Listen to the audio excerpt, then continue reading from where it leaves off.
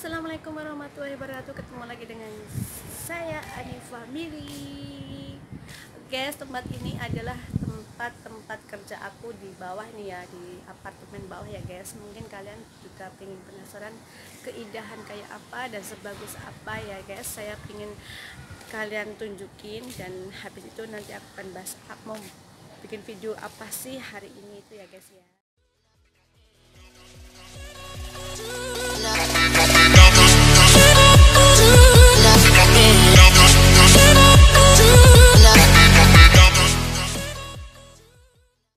Guys, ini jadi di belakang apartemen saya apartemen yang tempat aku kerja ya guys ya. Nah di sini tuh di bawah guys, di bawah. Dan di sini tuh bawah sangat bersih ya guys ya.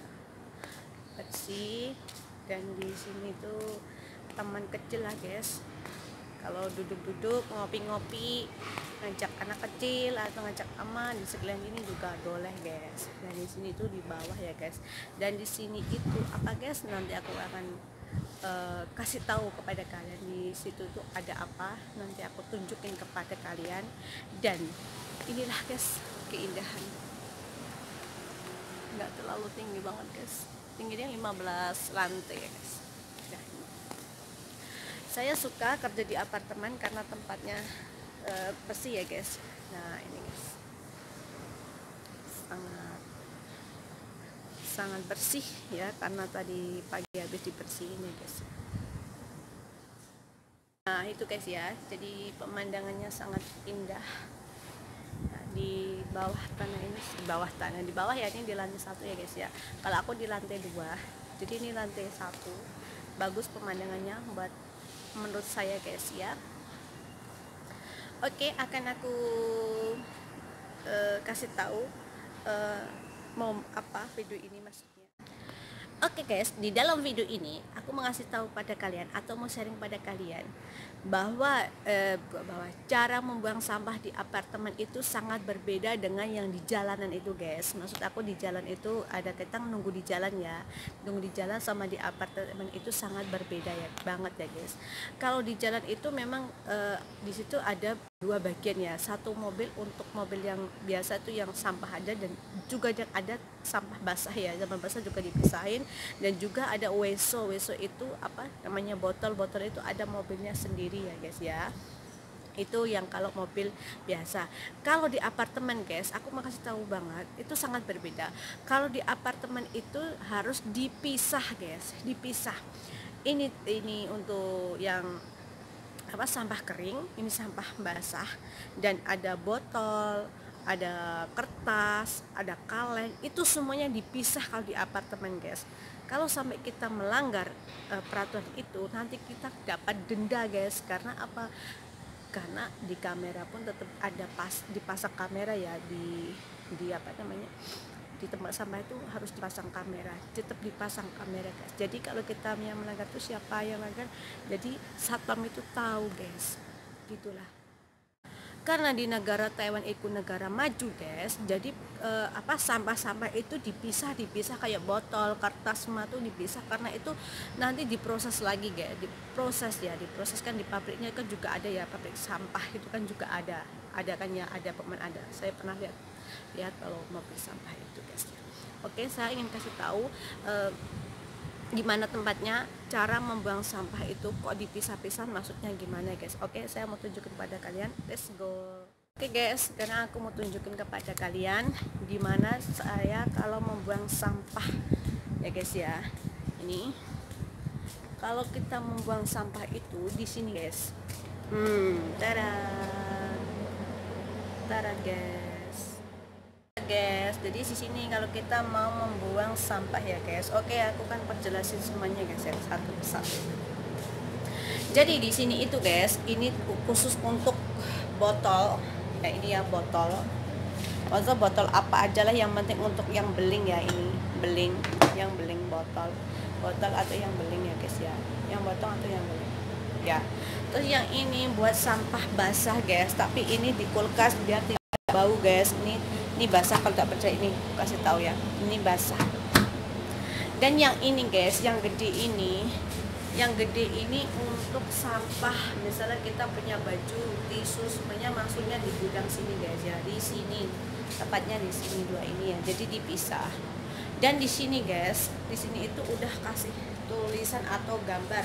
Di situ diterangkan bahwa ada botol botol Yakult Aqua sabun terus apa tuh namanya minuman apa itu harus dibuang di sini ya guys. Kita harus dibuang sini.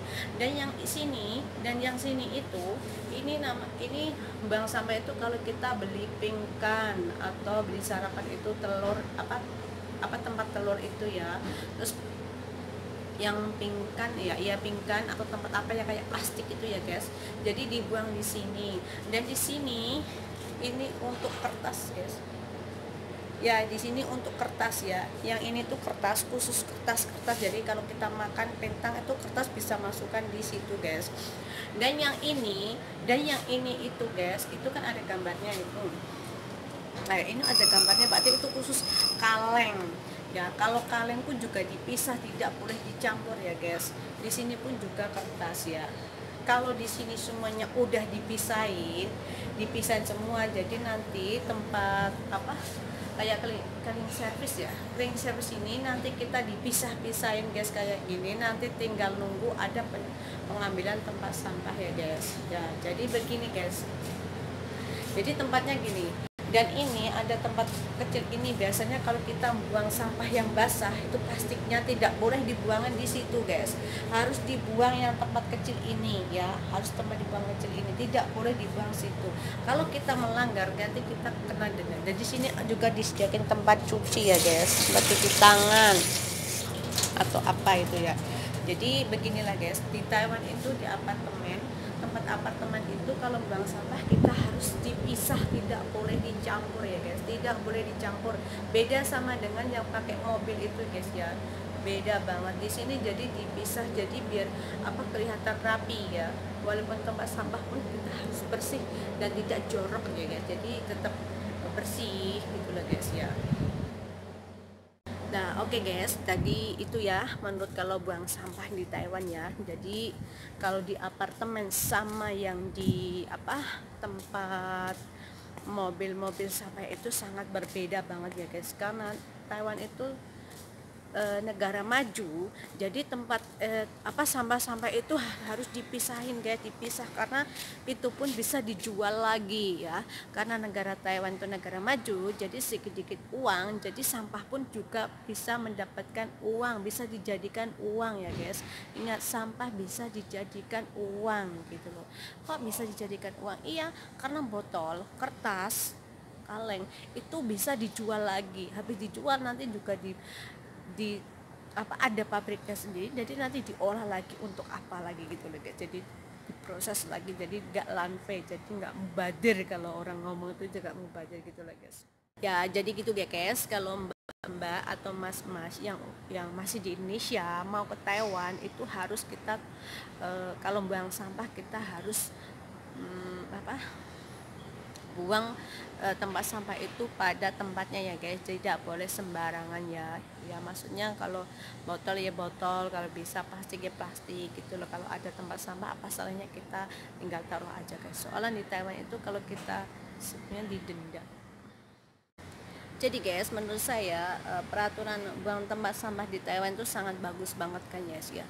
Karena tempat uh, sampah pun bisa jadikan uang. Jadi jadi semua orang tuh kadang orang Taiwan yang enggak yang apa ya kayak ama akun tuh sukanya memang sampah-sampah itu memang kadang dis, disimpan ya disimpan berbuat jadi nanti bisa dijual ya guys. Kalau ama akong ama akong yang di tinggal di kampung-kampung gitu ya. Kalau di apartemen pun juga teman saya juga sama apartemen aku juga sampah-sampah pun juga di ditapung nanti kalau udah banyak dijual lumayan bisa beli, buat beli pulsa guys.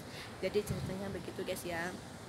Jadi uh, maaf banget kalau video aku memang tidak bermanfaat buat kalian tapi saya tuh ingin sharing pada kalian kalau membuang sampah itu di Taiwan memang ada caranya cara membuang sampah di apartemen itu sangat berbeda sama dengan mobil yang yang mobil mobil kuning itu ya guys ya. Jadi uh, itu menurut saya kalau menurut kalian saya nggak tahu karena um, setiap orang itu punya uh, keahlian sendiri dan punya ke perbedaan sendiri-sendiri ya guys ya Oke okay guys, video dari saya hari ini cukup sekian. E, begitulah cara membuang sampah di apartemen ya guys ya. Jadi itu yang saya bisa jelasin kepada kalian. Mungkin ada yang lebih paham lagi dan lebih jelas lagi. Mungkin ada, tapi mungkin e, itu aku hanya bisa hanya segitu aja ya guys ya. Oke, jangan lupa ya guys di like, di like, comment dan di subscribe. Jangan bila perlu di share ya guys. Oke. Oke okay guys, sekian aja video dari saya uh, bahwa hari ini saya menjelaskan pada kalian cara membuang sampah di apartemen ya guys. Jadi buang sampah di apartemen itu sangat berbeda dengan yang di jalanan ya guys. Mungkin uh, saya bisa menjelaskan seperti itu. Hmm, mungkin di tempat yang lain mungkin tidak sama ya, tapi yang di tempat aku tuh aku jelasin seperti itu ya guys ya. Jadi uh, setiap orang uh, menjelaskan mungkin berbeda-beda ya guys ya. Tolong tapi kalau ada yang salah ya tolong dimaafin ya guys ya. Oke ya guys yang suka dengan video saya jangan lupa di like comment subscribe dan di share ya. Assalamualaikum warahmatullahi wabarakatuh. Oh iya jangan lupa ya uh, tombol aktifkan lonceng tombol loncengnya ya guys biar ada video yang baru kalian bisa tahu video apakah yang bisa aku sharing kepada kalian oke okay? assalamualaikum warahmatullahi wabarakatuh selalu bersenyum